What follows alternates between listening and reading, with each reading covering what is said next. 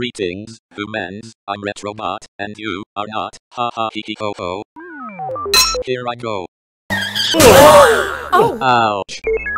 Pull me out. Oh boy, Retrobot. It's closing time. Lights out. I'll pull you out tomorrow. Hey wait. Greetings, ladies and gentlemen. This is Retro Ernest of Retro Electro Tech. And what I'm doing here is a quick video for a viewer who requested some help with um, removing the housing here so that he can replace the uh, lamps. Okay, he has some burnt out lamps. And he suspected that it was fairly straightforward based on what he was looking at, but he didn't want to go about it until he got some advice and, you know, so he doesn't damage anything, which I can respect that. But as, um, as suspected, it is very uh, straightforward to replace the lamps on um, this uh, Sansui 771. That's what I'm working on. I'm recapping and a bunch of other things, going through some other, uh, working on some other issues and all that. So while I have this um, in the shop uh, being worked on. Um, I'm going to go ahead and just real quick for the for the gentleman just show him what's involved in removing the uh, the lamp housing here. So again, as you suspected, it's fairly straightforward. These um, screws here, which I already removed here, okay, and over here, um, are the only two screws that hold this in. And uh, the only other trick, if you will, if you want to even call it a trick, is just more the angle of the dangle and um, just angling this housing so that you don't um, potentially damage components on the board or you know wiring or, or anything like that because you got all this wiring over here and you have all this wiring that uh, of course attaches to the back of the um, uh, circuit board here and um, I'll get into that in just a moment so once the screws are removed, then all you do is just give it a tilt. Just tilt it back, the housing, okay? And once you got the, the housing tilted back, it should clear just about everything, okay? Just maneuver things carefully. And you don't want to pull too much because obviously you have uh, wires attached over here. But um, all you need to do though is just flip it over so you can gain access to the lamps here. And uh, one thing you may want to consider is that when you remove the lamps, and you could just remove these by hand, you know, um, if you want to get fancy, you can use one of those fuse uh, pullers, but you don't have to.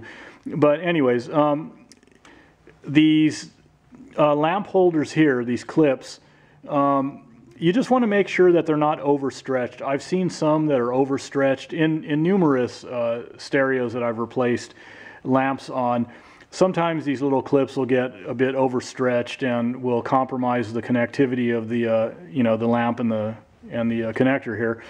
So you'll just want to squeeze them carefully with your with your fingers. You can just give them a little squeeze if if you need to. If it, if they're already tight, don't worry about it. And you can also get a, uh, swab and some alcohol and clean the uh, clean the contact surface as well. Just make sure everything's nice and clean before you um, you know, snap your your replacements in, and and that's really about it. Um, what you see here, this lamp is for that I'm pointing at right here is is for the uh, this is the multiplex or stereo indicator lamp. Okay, so if yours works, then just leave it be. Otherwise, if you're just needing to replace the uh, the dial face uh, lamps, then this is where they are. And then once you do that, um, same thing. It just drops right back in at the same angle that you removed it. Okay. And let me also too point out, you'll see, um, I think, yeah, you can see the shelf that I'm pointing at, maybe, but there's there's this main uh, section of chassis here at the top that the uh, that the uh, dial indicator uh, slides on Right below that, there's that other little metal shelf that has the screw hole that holds this housing in place. So um, just make sure that the that the inside top portion here of this housing rests on top of rests on top of that shelf there, okay? And just be careful too, because you got that dial string running along the bottom. So that's why when you're angling this uh, to pull it out, just angle it carefully and pull it out. Just be gentle with it and you'll be good. And uh, with this housing sitting right back on that shelf, just line up the uh, screw holes, drop the screws back in, and you'll be good to go. If you need to replace the, um, the meter lamp this is the meter housing right here, the plastic meter housing, and there's a couple screws down at the bottom here that you remove and you can slide this uh, housing out of the way and there's a, uh, a lamp uh, right, right behind this housing if you need to replace that, um, that lamp for the, for the meter.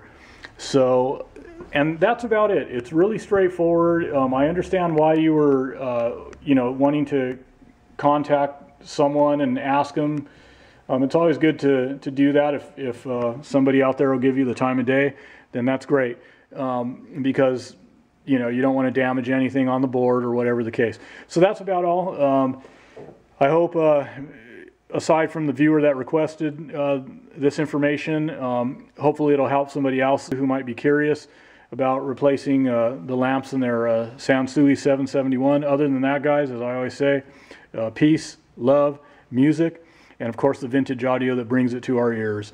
Otherwise, guys, take care of yourselves. This is a poor man's shoe production.